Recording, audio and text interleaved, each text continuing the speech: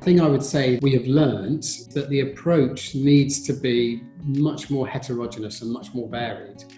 And you know, I think at the time we were, you know, gloriously simple in our approach. There's going to be a climate change act and a carbon price, and then you know we'd all go and do something else because that would be sort of decarbonisation for the UK. And I think what we've learned over time is that when you look at the different parts of the sector that need to change, you need to have more focused regulation and more activity to make sure you can drive the change as efficiently as you possibly can over time. Hello and welcome to Energy Unplugged by Aurora. This podcast features various experts from Aurora having in depth conversations with key industry leaders, policymakers, and academics from all over the world it explores the hottest topics across the energy market and gives a unique perspective on major energy issues. This episode consists of two parts, with this being part one. For part two, keep an eye on our podcast feed. Welcome to Energy Unplugged. I'm John Feddersen, co founder and chief executive of Aurora.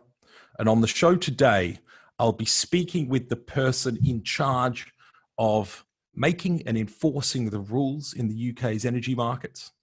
Uh, one of the key architects of electricity policy in the UK over the last decade, and perhaps one of the deepest experts uh, in the UK on the electricity system.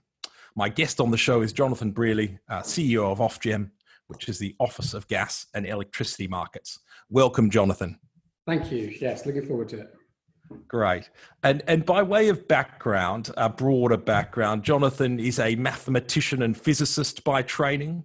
Uh, he is, in terms of his career trajectory, he was, I suppose, a policy generalist who became a policy specialist, uh, having started his public sector career in the Prime Minister's Strategy Unit under Tony Blair, uh, and uh, before then focusing on energy and climate change through the Office of Climate Change, subsequently uh, the Department of Energy and, and Climate Change, and now Ofgem.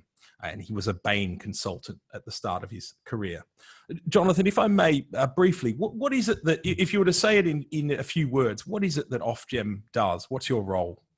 So the Ofgem does two things. It makes sure that customers in the markets today, their interests are protected, um, and we make sure that people are treated fairly. But equally, we are playing a big part in leading the transition to tackling climate change and getting this country to its climate targets of net zero by 2050. Thanks. And it's interesting. The um, we may pick this up later. Uh, you know, if you'd spoken to a former CEO of Ofgem, you know, going back five or ten years, I think uh, I think it's fair to say the emphasis would have been much more on the on the consumers, and that's not to say it's less on them now, uh, and much less on Ofgem's role in tackling climate change. So it seems like quite a quite a transition that hopefully we'll, we'll pick up later in the discussion. Sure. Before before we get to that, can I just talk a little bit about your career? And I'm interested in the strategy unit. And now, as I understand it, this was a sort of a, a, a, Tony Blair government creation to sort of centralize intelligence and, and analysis. So the, the first thing I'm interested in is what were your what were your focus areas there? What what sorts of policy were you focusing on in that role? Well, look, I mean, the, the, PMSU was a unit that allowed you to wander far and wide across policy. So I worked on everything from prison reform through to pensions, through to local services like, for example, youth services and childcare.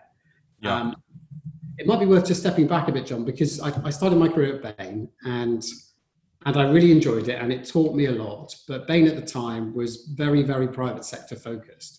So I, I almost consider that that I had my training, and I always looked at government as an opportunity to work, but was fearful of some of the things that are in some of the debate now. You know, is it going to be too slow moving?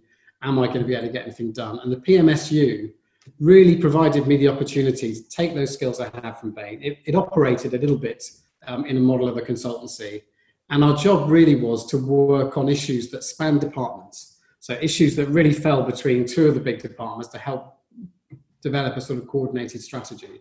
Yeah. And really, you know, for me, it was what I describe as my first dream job. You know, you could do the work you wanted, you could move as fast as you wanted, and you really could make a huge difference in a short space of time. Yeah, interesting. Yeah, I um, and, and I, I, I confess, I spent a little bit of time in the Australian Prime Minister's Strategy Unit, which was essentially predicated on the essentially copying the British one. And one of my earliest jobs was copying the sort of sure start centers, which I think Tony Blair always said was one of the things he was most most uh, most proud of. So, so, so it's certainly been emulated elsewhere in the world. So, on the centralisation point, I I sometimes hear criticism of the current government around the centralisation of of decision making in a sense. And look, I suspect every every government's been criticised for centralisation of decision making uh, by, by, by some. What do you think the virtues are in that? Is it about sort of spanning departments where things might fall through the gaps? Uh, are there other are there other virtues in in that sort of structure? Well, I think first and foremost, it doesn't matter how you arrange government. Government, you know, when you add it all up, is enormous. And I do think there is merit in taking some of those issues that span departments and trying to find a more integrated way to work. And I do think, you know, the PMSU and, and the Cabinet Office as such was, was very good at doing that, putting sufficient analytical resource in, you know, usually in combination with the departments involved, to come out with something that then says, okay, rather than focusing on what the communities and local government department will do, what the health department will do, will tackle outcomes for vulnerable families, for example. Mm-hmm. Uh, to me, is a really, really strong advantage. It's not the only way to do things, but it's certainly one that can drive a lot of progress. I suppose, secondly, and honestly, I think if you are a prime minister that wants to drive change and you're finding it hard to have effect, it is useful to have a unit there that can help sort of bring people together and think through how you might make some of the more radical and some of the more fundamental changes. I mean, there is a downside. And the one thing I would say, and the one thing I really learned from the PMSU more than anywhere else, is it doesn't matter where you are in the, in the map and the landscape, building really strong relationships with people and understanding where they are coming from is fundamentally important. So if you walked into the PMSU thinking, I work for the Prime Minister at the time, people are just going to do what I say, you'd find it very difficult to have an impact. You only really have an impact yeah yeah interesting and so you and so you uh, you worked on all these different areas prison reform sure start centers various things like that and you decided you wanted to specialize uh, it, it, sounds like you know, climate change and energy. Why? Why? You know, you're a mathematician, physicist. You've, you've done you've done your first dream job, which I suppose was defined by its breadth. Why specialize, and why that particular area? Look, I, I don't know at the time. If you'd asked me that I was choosing to specialise, I would have, I would have consciously known that's what I was doing. And and um, in a sense, I, you know, I, I came into to, to, climate change and energy almost by accident. So I'd worked with David Miliband on local government reform. He then became the DEFRA, so the Environmental Secretary of State, and and he faced he faced a problem. He faced being a Secretary of State with a department that simply didn't have any of the policy or regulatory levers to get the outcome, tackling climate change, that he thought he ought to be driving. And so he asked me initially to come and set up the Office of Climate Change. And it was meant to be a sort of scoping exercise, a design exercise, and then we were going to hand it over. but it got so much momentum that I stayed there for four and a half years. And, and just to say, I do think that was my, you know, that's another job that I consider to be a dream job. It was a great time to be in climate change and energy. It was where the political awareness of the issue had grown. And coming out of the Office of Climate Change came, for example, the Climate Change Act, which mm-hmm. which was a, was a you know a piece Amazing. of put together very quickly, um, but also in a very different kind of way. You know, we worked across departments. We were very transparent. We were very open, and we pushed ourselves on being sort of analytically robust. So we almost took that PMSU model and said, let's focus it on one area and see what we can do with it there.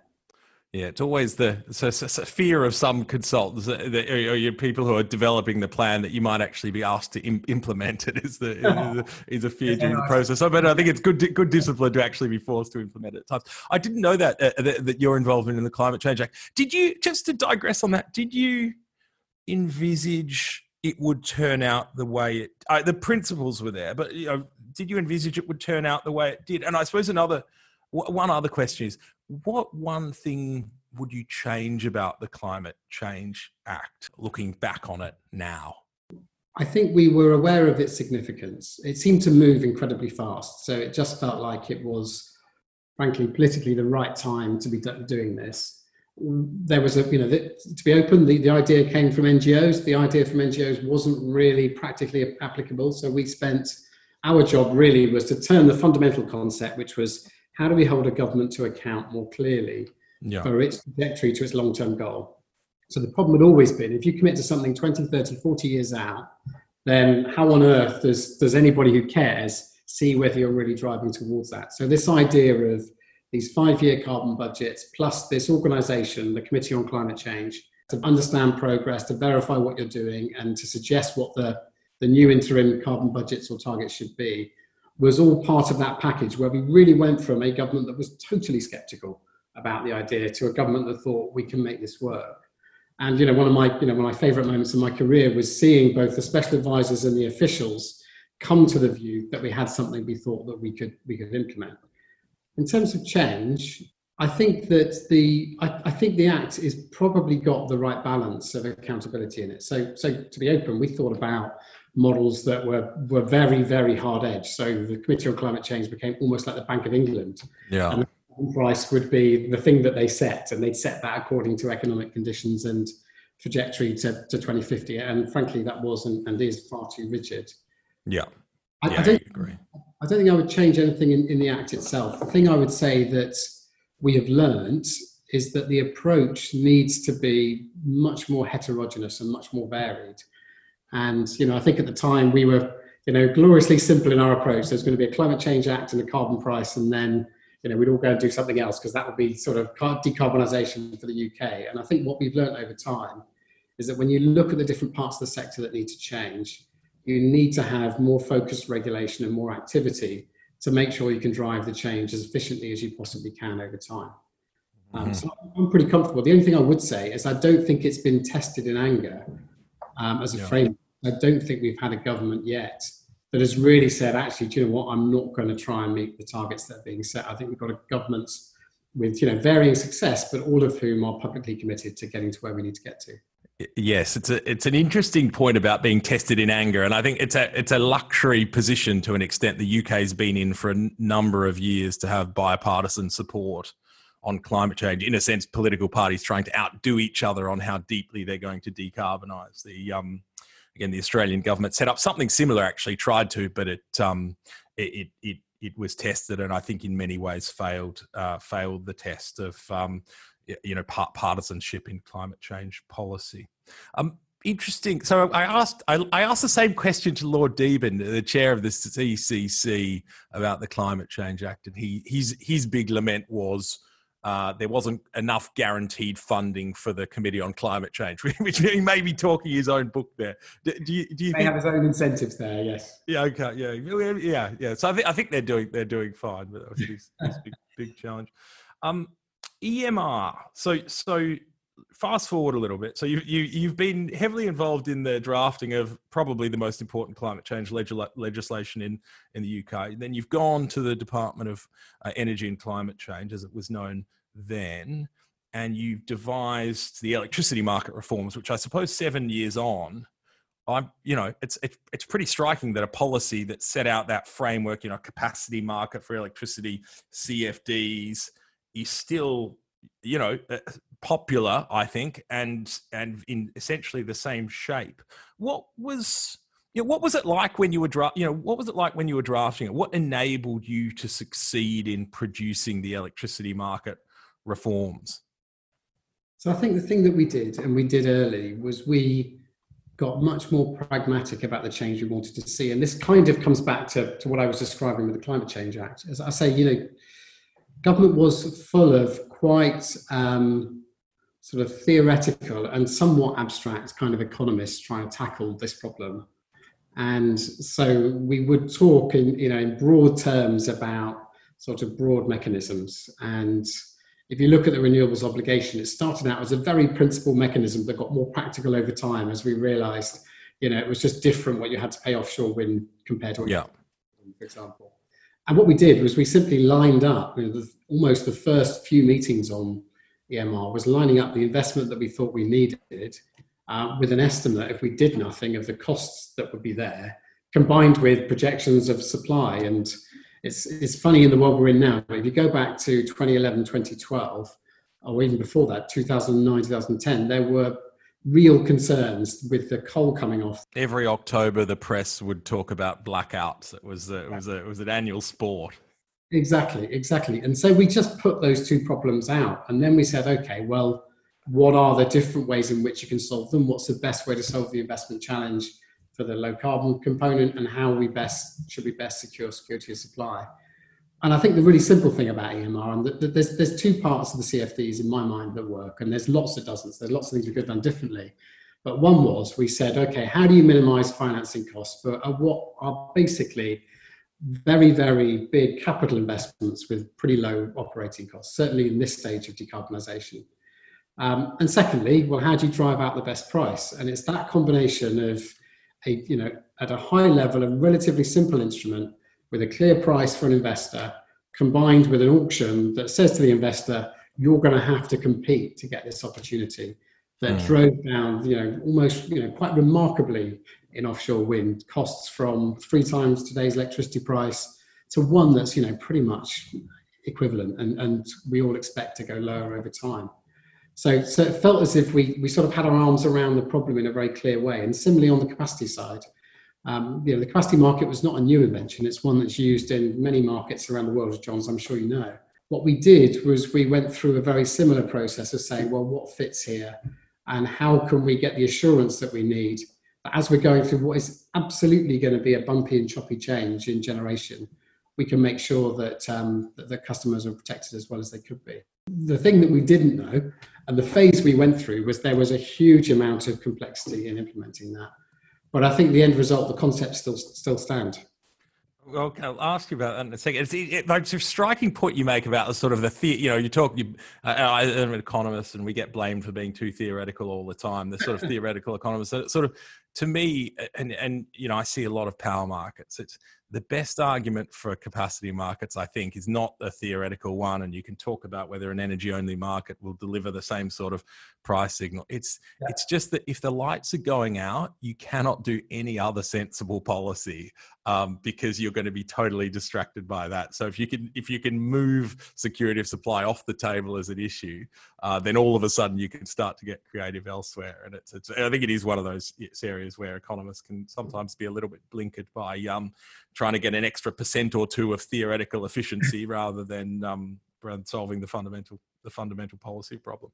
Are these still the right instruments, the CFDs and the um, and the and the and the capacity market? And I suppose you know com- combined with the wholesale market that we that we have, and, I suppose one, one slightly deeper question on that is: Can we? So you talked about offshore wind and the and the and the declines in cost can we expect the CFDs to do similar things for the new technologies that we need, like CCUS and, and hydrogen? So, um, on the first question, I, I, think the the transition we're going through is is too fundamental to say that any any combination of market structures or or, or instruments is, is going to be enduring. You know, we're we're continuing to see changes in the cost base of the stuff that that is providing our energy use we're seeing an increased value in the capacity of customers, us customers at the other end, being able to shift our use to match what are naturally more intermittent and variable sort of sources of power. So I don't think we'll ever be able to say, right, this is it. We're, you know, the steady state from now on, and it's just tinkering. I think we need to continue to push ourselves to make sure that we are delivering that transition at least cost. I'm happy to talk about some of the things you might look at there. Um, I wouldn't get too hung up on the instrument. I think the principles behind EMR absolutely could help CCUS and hydrogen. And if you take CCUS, what do you, what do you really have? You have an appendage to a power station, if it's a power station that's attached to CCUS, or, or indeed it's something that's breaking up methane, and you have a bunch of pipes and storage place. Well, you know, the principles of having something that's very high capex um, and has relatively low operating costs in terms of what's coming in and out could well lend itself to something which could either be a CFD or you could do it through some form of more regulated structure closer to the way we deal with networks. So I think there's there's plenty of different ways of doing things. The things you've got to hold on to are the things that you think will drive clarity for investors, but also drive a, a price for customers. Mm-hmm. Um, Good, and we'll come back to the the markets, hope, hopefully, and the networks um, shortly. Just one final question on, I suppose, your your journey.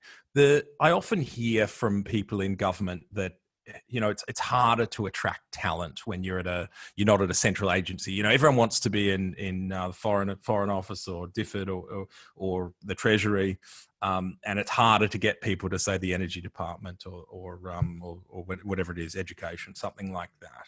I had i had one uh, someone from one of the utilities say there aren't many Brearleys in BEIS anymore to me a few weeks ago. How how how do you go about that? And I suppose Ofgem is the same in a sense. You you, you know you're not you're not you're not the treasury um, in a sense, a vital role playing a massive you know massive role. How do you attract talent? Is it a challenge? Is it a fundamental challenge? Well, look, I, I think it is. I think there's two challenges there. One is sort of public versus private sector. Um, and the other is, you know, how do we how do we stack up and how do we compete with what else is going on in the public sector? But I think the the advantage we have and the incredible thing we have is an amazing task and an amazing mission as an organization. Um, yep. And I talk about my first dream job. I do see the job I'm doing now as my, I know it's my second or my third dream job in total, but I, I love what we do. And I love what we do because I can't think of anywhere um, in the public sector estate, including the Treasury, where you really can have the impact we have, not just on people's lives today. So, for example, in the COVID crisis, making sure some of our poorest and most vulnerable customers on prepayment meters get access to energy. But mm. also, we are driving this fundamental change to the UK economy, which, if we succeed, will be something that is talked about for you know for many many years afterwards. And I think the key to it is is demonstrating and being very open about that mission and your passion behind it. Mm. And I do think, I think you're right. We struggle. We struggle in the public sector. We also struggle as, as, as regulators. Um, and I must admit, when I joined Ofgem, my image of Ofgem was not matched to the scale of what Ofgem does, actually. It was only when I got inside. Yeah. I remember the first meeting, I was in the networks team, my first meeting, and I sat down with them and I said, just add up all the funding you are dealing with on behalf of everybody else. And over the last eight years, it's about, if you add on everything we're doing, it's about 100 billion pounds in total. So yeah. this organization, this team is on behalf of the British customer making some fundamental changes, not only to how much we spend, is it value for money, but also what it does. And when I think of those offshore wind farms coming up, when I think of the connection we just agreed to Scotland, and indeed when I think of the changes we've got in terms of the way we're going to buy and sell energy in the future, uh, it's amazing to be part of that. But I, I think you've got to talk about that and, and, and help people engage with that, and then you know, and then talk about sort of your statutory role and everything else as, as part of it. And perhaps in the past we've done the first rather than the second. Yeah, yeah, interesting.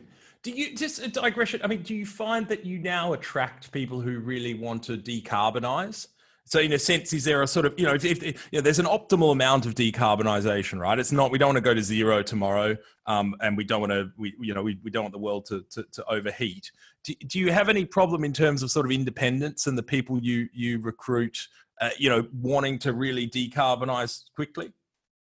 So I think that, you know, without a doubt, one of the things I did when I when I got the CEO job was I just spent sort of afternoons, as anyone would tell you in the building, just wandering around both London and Glasgow office and Cardiff, talking through, just talking to people about you know what motivated and what excited them. And I'd say it's that balance. It's really interesting. There are people who are absolutely committed to decarbonisation, um, and there are also people who are very thoughtful about the vulnerable customers we serve. And indeed, there are yeah. within our teams people that are very passionate about kind of sort of keeping the system robust and safe.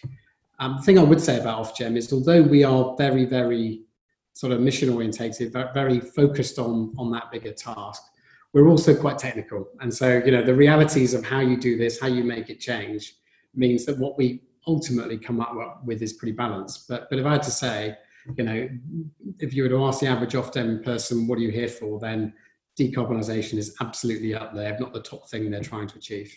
Yeah, yeah. Maths, maths, and uh, being explicit about your assumptions is a good way to kind of balance your balance your perspectives in a sense. I think, and it's as you say, it's um, it's pretty complicated. Uh, you know, I think it, it, what strikes me, as, as, you say, I think it surprises a lot of people. Actually, it's the you know the grid code is what shifts value around. That's what an investor cares about. You know, a politician will turn up to a, an election and say, "Okay, I'm going to decarbonize by 20 percent or 25 percent."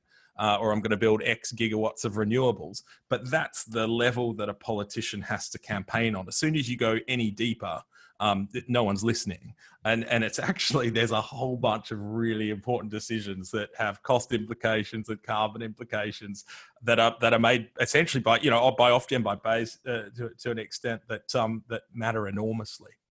Absolutely. And, and, and my view is ne- never more so than the moment we're in. So no, yeah, exactly. Getting cost parity and they're all beginning to say, you know, we could, we can probably survive in the market without necessarily different forms of support. Um, you know, the way you shift your network costs around, the way you deal with new entrants into a market, all of those details are things that Ofgem, you know, has a bailiwick over and really does drive decision making on. And that's why, you know, our work, you know, being independent but working closely with government is so important because it's got to be in consumer interest for the system to match the ambition of change as a whole. And, and that's really what we're trying to achieve. One thing I did between government and Ofgem was I spent time advising investors. And as you say, John, you know, there's lots of questions about the direction of policy. There's at least a similar amount about the details of specific aspect A, B, and C of, of regulation of codes or indeed of of things like CFD that, that really matter because that's where your money comes from. Yeah, yeah. Good example recently is uh, the targeted charging review of Ofgem and, and, and the implications that had had for, for, for a number of people. Um, and I tell yes. you, it certainly isn't getting any simpler. I think over it'll be a while before the markets get simpler. I, I, I think. I hope they do at some point. Um, can you tell me a bit about right. Ofgem and COVID? Um, so you've, uh, as I understand, you've been working remotely. Uh, uh, well, most people have been working remotely for a, for a long period of time. But broadly speaking, how has COVID impacted your your work?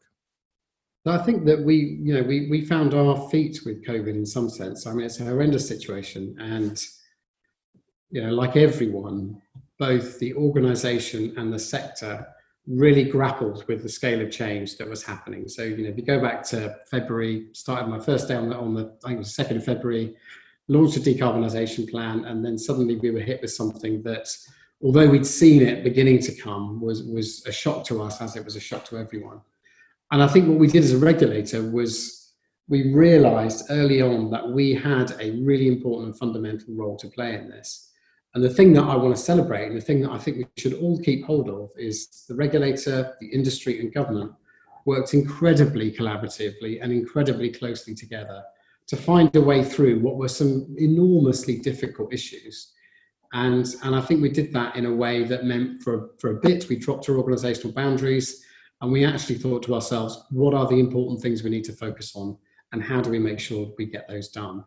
And I think for me and for Ofgem, it made me realize that not only do we have an important technical role, we have an important voice in the market and we need to be using that and we need to be building on that sense of collaboration as we come out of this and as we get through things like green recovery and we build that transition I've been describing. Can you say a bit more about how you're managing engagement with the industry? You know, a big a big part of uh, I suppose a big part of your role is hearing different perspectives, and you know you're a rule maker in a sense, but, but there's a there's a process by which people feed into the rule making process. Has the has the absence of face to face contact, you know, contact inhibited your your ability to do that sort of consultation?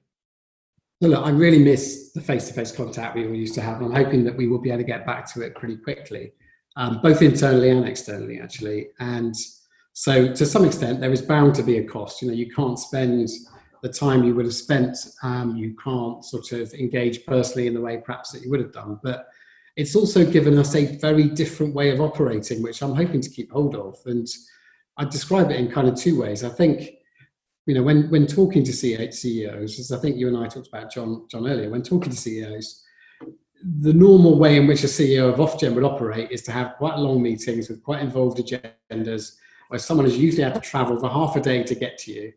And these meetings felt a little bit ceremonial, a little bit slow. And what we've done since COVID is we've actually put in much shorter, much more regular meetings between myself and CEOs across the different parts of, of the sector. And that's produced sort of an incredibly different dynamic. So I feel much closer to the ground as to what's happening. In some ways, I feel as if I've built a much stronger relationship with the relevant CEOs. Um, and I think that gives us a, a, greater sense of dynamism. So when we get back to steady state, what I don't want to do is to kind of slip back into the way we worked before, but to take that forward and think more, you know, think a little bit differently about how we might have a much more flexible and interactive sort of conversation with the companies involved. The other thing, the other thing is internally. You know, internally we had to make some very big decisions very quickly, and having come in saying wants us to be more flexible and faster moving. Frankly, we had a live experiment where we tried to do that. So the same thing we want to do with we did with COVID, we want to do, for example, with green recovery, which is where we can, moving at pace and making sure that we we keep pace with the changes that are appearing across the economy and across the sector. We have flattened our management structure, so we are broader, we are much more horizontal than we've ever been before, and that's all part of the same aim, which is to make ourselves, get ourselves ready for this transition and the pace of change that we all know is going on out there. And do you think would would the flattening of the management structure have happened irrespective of COVID, or was it influenced? I suppose it could be both. I mean, it was consulted on just before sort of COVID came in, so that I put out the first version of that on the first day. I think what COVID has shown me though is how we can make that work, and and indeed, you know, without going through the details of it all, we now have committed. We had a halfway house previously. We now have committed to something that is fully horizontal with, you know, a group of senior leaders. So I do expect to be in charge of their relevant areas. Uh, the, the other COVID point that comes up a bit in the press is sort of how how are retailers, how are suppliers coping? Uh, you know, I think there's an open question about what happens when government furlough scheme support um, concludes. How are you seeing, you know, COVID's impacts on suppliers and retailers at, at the moment? Do you have a sense of do you have a sense of where people are, and do you think they're in a, in an okay shape? So look, I mean, as you can imagine, one of the, the day one questions that we had to face was what was going to happen to retailers if people couldn't pay their bills. And and when you began to look at some of the very early scenarios, you combined that with you know operations that might lose a large number of people for self-isolation reasons, for reasons of childcare or reasons of, of health. Um, it was a very, very difficult picture. Now, what we did very early on and where we added a lot of value was we, we, we put our financial experts into each of the companies, or we got, we got information from each of the companies for our financial experts to look at. And we now have a very regular and ongoing assessment of the state of the retail market. And all I would say is that we haven't seen some of those kind of worst case scenarios play through. And you know, we are in a position where you can never say a supplier won't fail. We're in a market, and, and in any market, retailers might fail, but we're not seeing the sort of systemic issue that we feared when we start. So in a mm. sense, that's good. Brilliant. Yeah. And, I, and I'd say this to my teams quite often. You know, there's a sense that we're coming out of COVID to some extent in terms of the you know the easing of lockdown, etc. But as you mentioned, we won't really see the financial implications for those companies until we see the economic change that has happened that will happen in the second half of this year, both as as schemes end, but also as you know the economic impact of of, of the COVID situation plays through. So we're keeping a watching brief. That was Jonathan Brearley, CEO of Ofgem, with John Feddersen, co founder and chief executive of Aurora, asking the questions. In the second half of this interview, Jonathan will be talking more broadly about Ofgem, its long term focus areas, and its environmental perspective and about networks and energy markets. It will appear on our podcast feed on Apple Podcasts, SoundCloud, and Spotify. You'll also find more in depth conversations with senior members of the energy industry. Thanks for listening and goodbye.